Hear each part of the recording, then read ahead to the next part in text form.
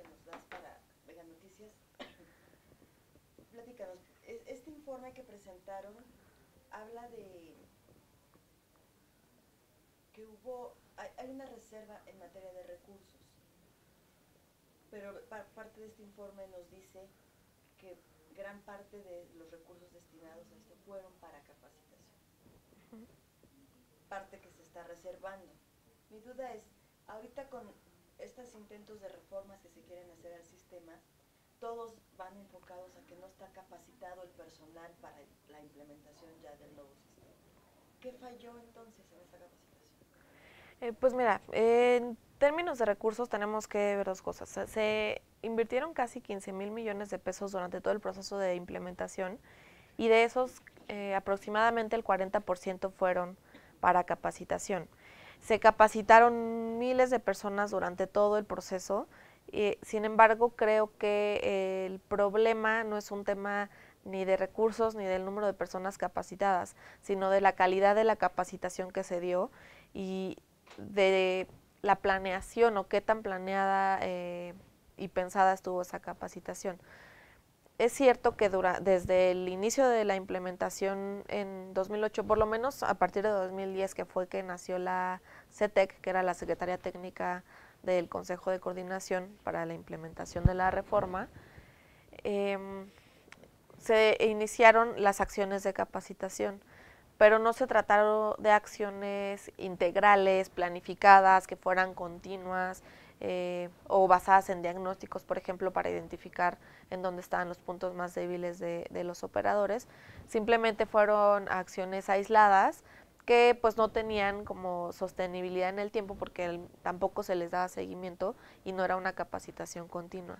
Entonces creo que el problema más que, de, sí es cierto que se invirtió demasiado en capacitación, pero el problema es que la, capacitación no fue de calidad y eso es precisamente lo que se está reflejando hoy en, pues en las deficiencias institucionales y de los operadores, ¿no? que no tenemos capacitación, eh, eh, perdón, investigación sólida en, en, las procuradurías, los policías como primer respondiente también no tienen y ellos mismos no se sienten con las capacidades que les exige como el, nuevo sistema acusatorio y por eso es que estamos viendo problemas ahorita ya para la operación como tal. ¿no?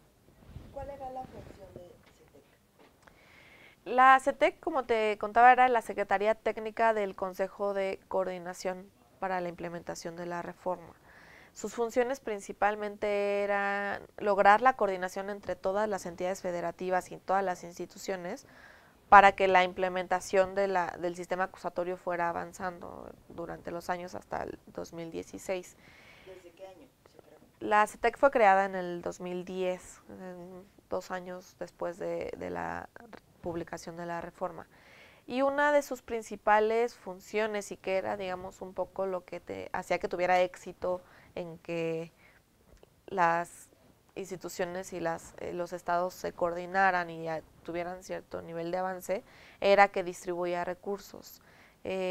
Para la implementación de la reforma se creó un subsidio federal que era administrado por la CETEC y que era distribuido entre las entidades a través de proyectos específicos que ellos tenían que presentar para infraestructura, capacitación, eh, difusión, tecnología, seguimiento, evaluación. Entonces las entidades federativas presentaban proyectos y para de mejora para la implementación o para avanzar en la implementación y la CETEC distribuía esos recursos. Okay. Y es aquí donde se entregó, hay 30 millones que están reservados, ¿no? Eh, lo que sucede y, y, lo que nos preocupa un poco es como la rendición de cuentas y la transparencia de cómo se gastaron los recursos. Esto por dos cosas. Uno, porque fue mucho dinero el que se invirtió en la implementación y no se están viendo los resultados realmente, digamos, tangibles en términos de operación de qué sucedió con esa inversión, ¿no? Nosotros tratamos de hacer un seguimiento en, nuestro, eh, la evaluación de hallazgos que hacemos y eh, hay cierta información que no es tan pública, ¿no? Información que nosotros eh, obtuvimos por medio de eh, las plataformas de acceso a la información de transparencia. Eh, hubo cierta información que es reservada, por ejemplo, de cómo se ejecutaron ciertos recursos del subsidio que, que CETEC dio a las entidades, específicamente información sobre una auditoría que eh, les hicieron por parte de la federación. Esa información fue reservada y ahorita estamos tratando de que no sea proporcionada a través del recurso.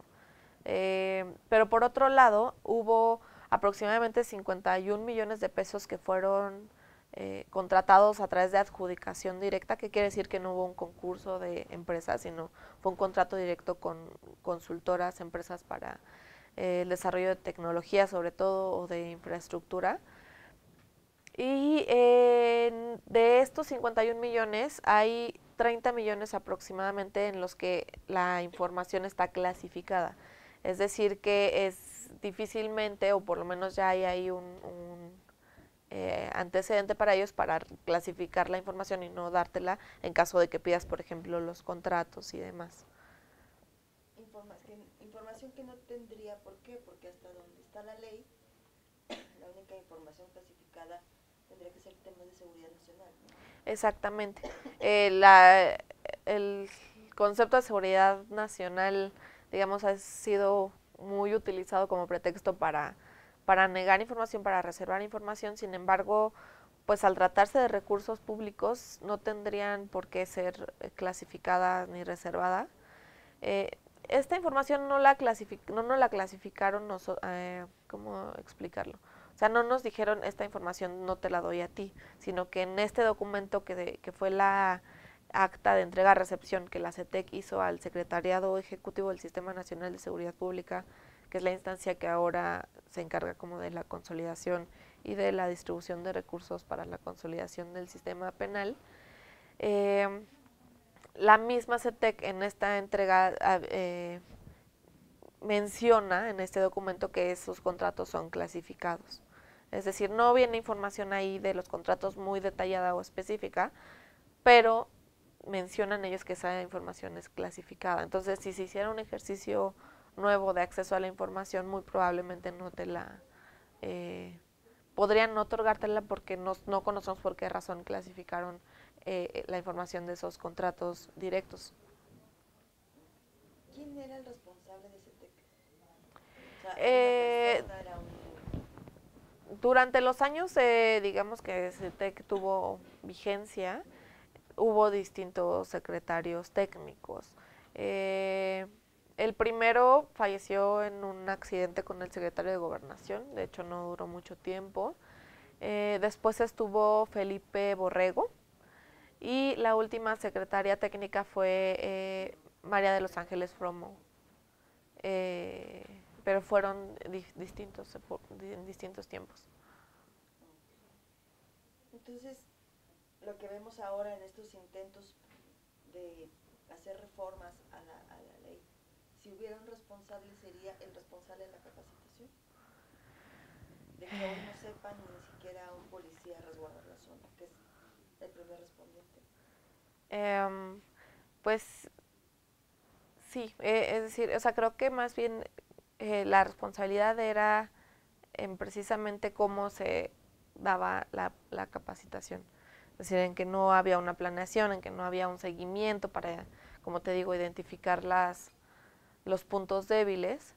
Entonces... Eh, Porque decía María en el informe que en, este tema de recursos y de crear tecnologías para, para la homologación de los procedimientos, por ejemplo, eh, se invirtió mucho dinero en una plataforma y cuando se solicitó que se viera cómo habían sido, para sacar ya los datos de cómo había sido la capacitación, los cambios, no existe.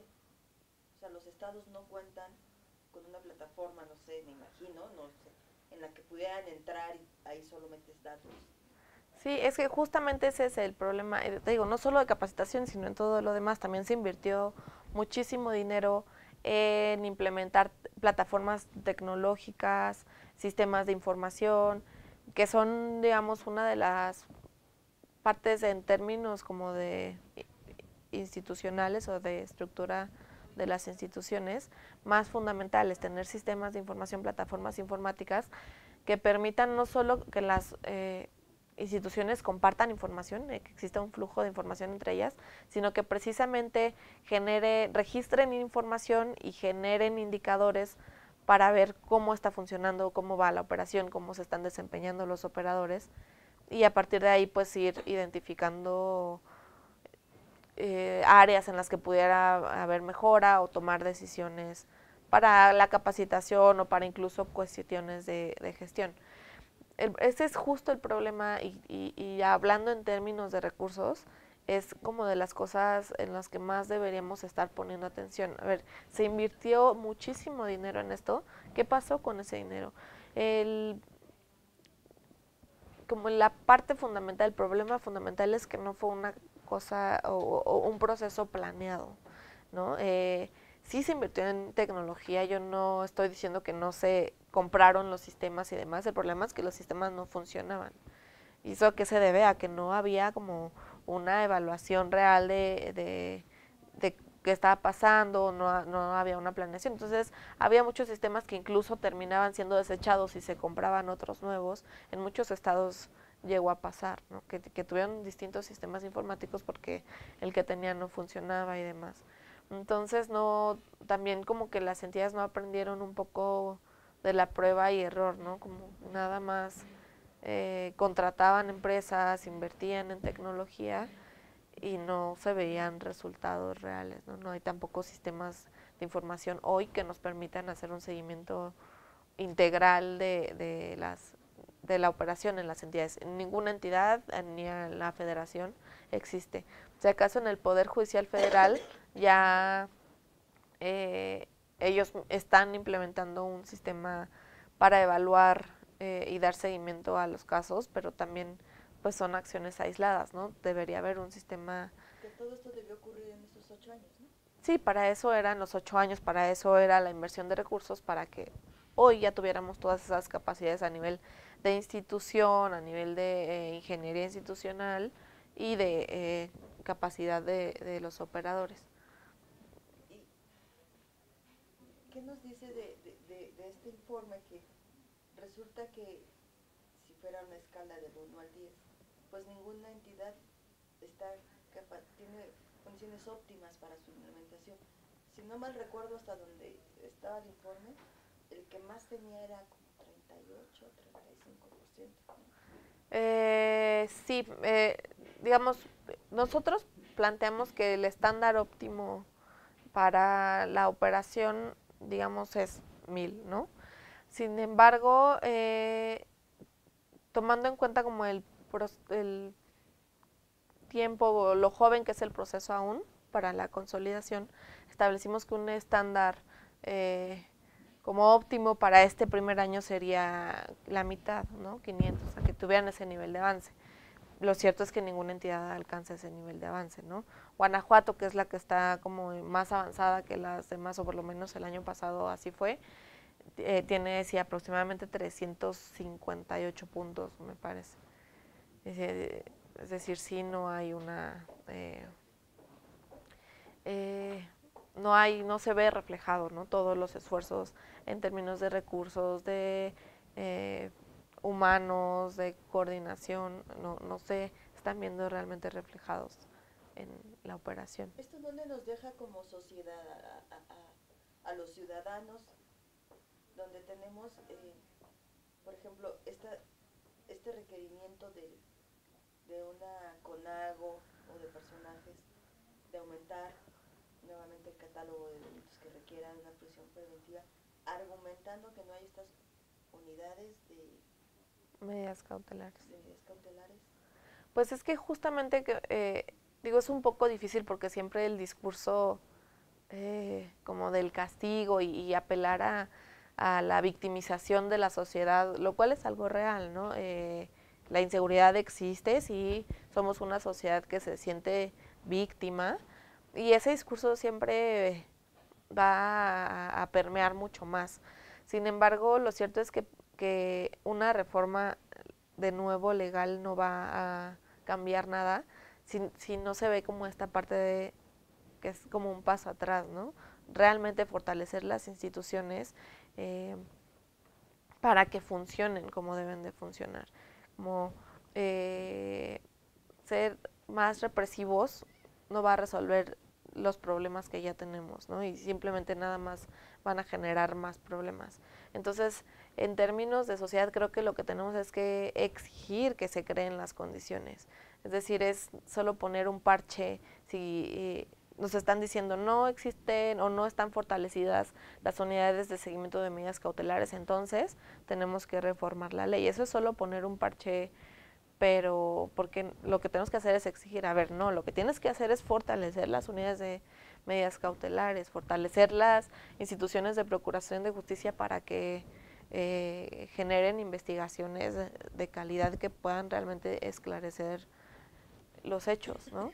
Eh, el papel como sociedad creo que ese es el que tenemos que hacer, exigir que más bien realmente eh, hagan su tarea y rindan cuentas de, toda la inversión que ya se hizo, que son recursos públicos y que en cierta medida pues eh, son recursos que nosotros terminamos pagando como ciudadanos, ¿no?